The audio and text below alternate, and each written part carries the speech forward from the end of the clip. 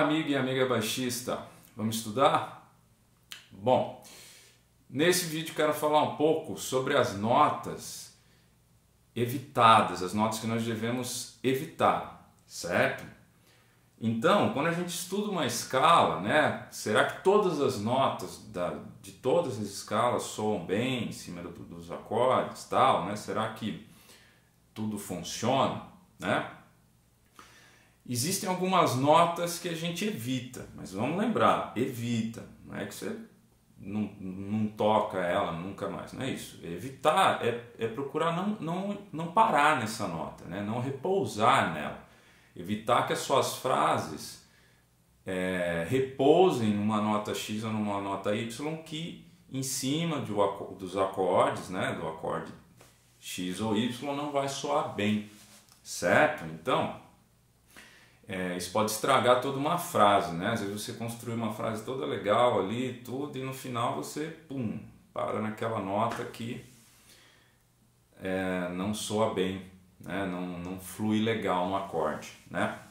Bom, agora quais são essas notas, né? Então, assim, é, é muito comum né, a, a galera ficar vidrada no, no, nos modos gregos, né, ou nos modos da escala menor harmônica, menor melódica, né, e é aquela mesma história de sempre, não, não analisa, certo? Então, legal, o modo mixolídio, né, super escala bacana, né, tem várias músicas até, várias composições que são feitas com essa escala e tal.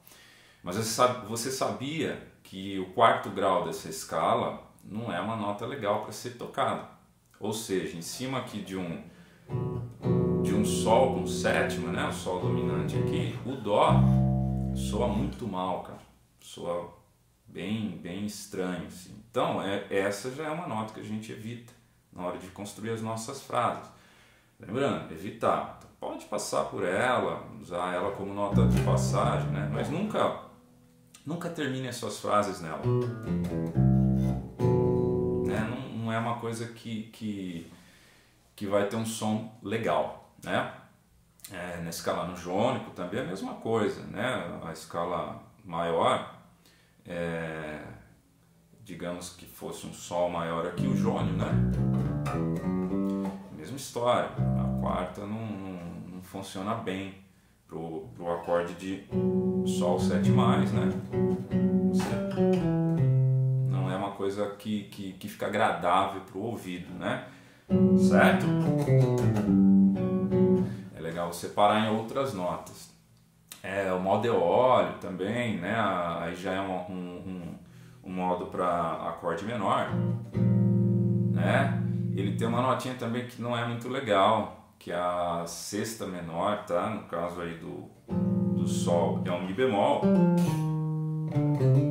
Então também é uma nota que é importante a gente evitar na hora que estiver construindo as nossas frases, tá?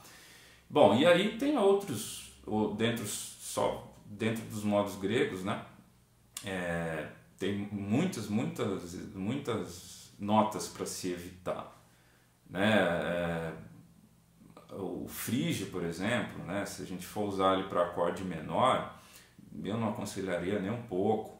Né? Claro, aquela história, nada é proibido, mas ele já tem nona menor, que não é uma coisa legal para acorde menor, além de ter a sexta também, né?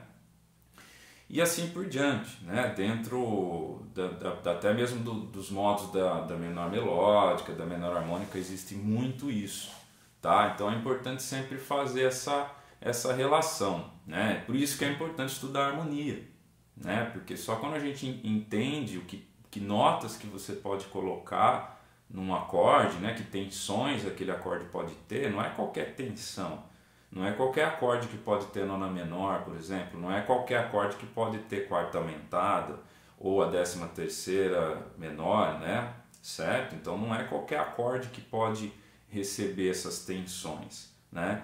Então, quando você estuda a harmonia, você aprende esse tipo de coisa, automaticamente você aprende o que, que é legal para você tocar em cima do acorde ou não. Ou seja, é, harmonia e improvisação são coisas que, que tem que andar juntas, né? Então não adianta estudar um monte de escala, colocar um monte de escala embaixo da mão, mas daí não saber que nota que é importante, certo? Bom, mas aí para salvar a pele da gente, né, existem as escalas que eu, eu chamo de escalas ideais, né, que são escalas que você pode tocar todas as notas sem problema nenhum, tá? Então no próximo vídeo eu vou falar sobre isso, sobre as escalas e que você não tem essa preocupação, você pode repousar em qualquer nota, em qualquer coisa, certo? Ah, só para encerrar esse, esse vídeo, o toque que eu dou assim é, é, com relação à quarta, então, a quarta e a quarta justa, terça maior, não funciona. Então, todo acorde que tiver terça maior, você evita tocar a quarta justa, certo? Já o acorde menor é a quarta justa que você tem que tocar, que fica muito bom.